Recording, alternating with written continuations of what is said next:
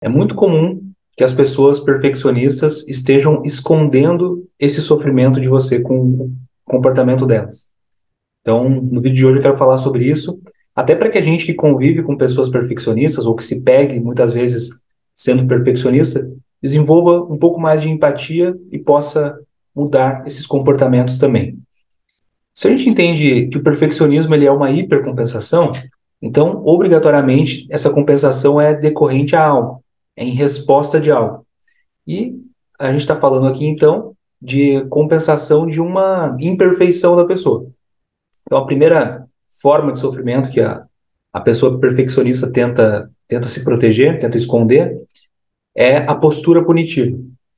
A pessoa perfeccionista, muitas vezes, ela cresceu num ambiente muito autoritário, muito rígido, com padrões realmente inflexíveis né, de, de cobrança, e ela aprendeu a, a treinar a sua atenção para identificar defeitos nos outros e, mesmo que ela não externe a crítica, mas a ter um olhar crítico, um olhar julgador. Então, por ter essa lente, né, por ter essa forma de enxergar o mundo, por encontrar pequenas imperfeições nos outros e tudo, ela parte do princípio de que os outros farão o mesmo com ela. Então, essa postura punitiva, esse olhar excessivamente punitivo, é uma coisa que a pessoa perfeccionista tenta se proteger. Ela tenta esconder isso. Ela tenta é, compensar, então, esse medo da, da, crítica e do julgamento através do, do perfeccionismo. Só que isso tem um custo.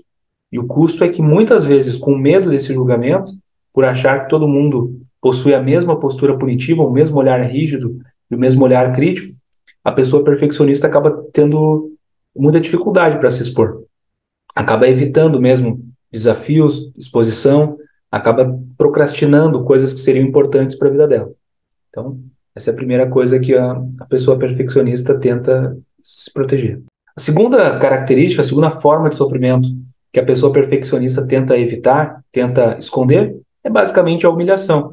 Aqui lembra muito a parte do, do, do, bullying, assim, o histórico de bullying que muitas vezes é comum, né, histórico de críticas, de humilhações e tudo, que é o sentimento de ser exposta.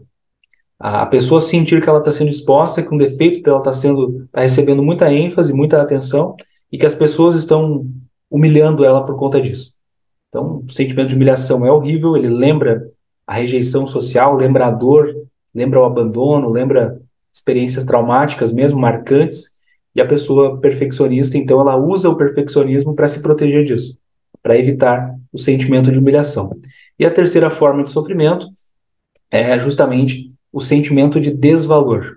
Imagina que todos nós temos crenças centrais, que são padrões, lentes, né, que nós usamos para entender o mundo, as pessoas, a nós próprios, e a pessoa perfeccionista muitas vezes tem uma crença central de desvalor.